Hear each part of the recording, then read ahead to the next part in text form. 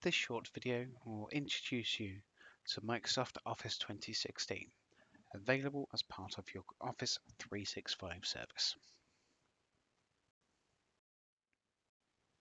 The core applications that will be available to you on your UWE standard PC or laptop will be Word, Excel, PowerPoint, Publisher, Outlook, Access, and OneNote.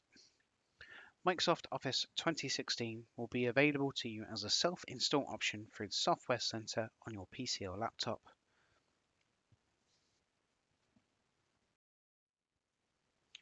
While most staff will find their needs are more than covered by the core applications, you may find that you are managing projects or be involved in producing complex drawings and diagrams.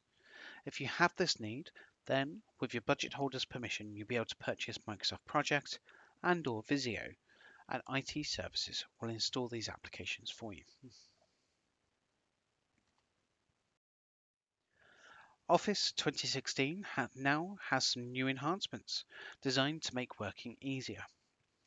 The Intelligent Help Assistant, or Tell Me What You Need, helps you to find features and functions, or simply use it to access the Get Help function to be able to understand what you need.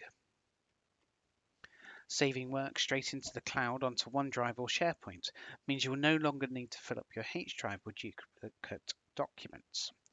Saving directly to OneDrive or SharePoint will also mean that you are accessing the latest versions wherever you are. Working with your colleagues has never been easier. Working in Office 2016, you can all work on the same document from different locations and see live the changes your colleagues are making. Why not use Skype for Business to talk or instant message each other while you work?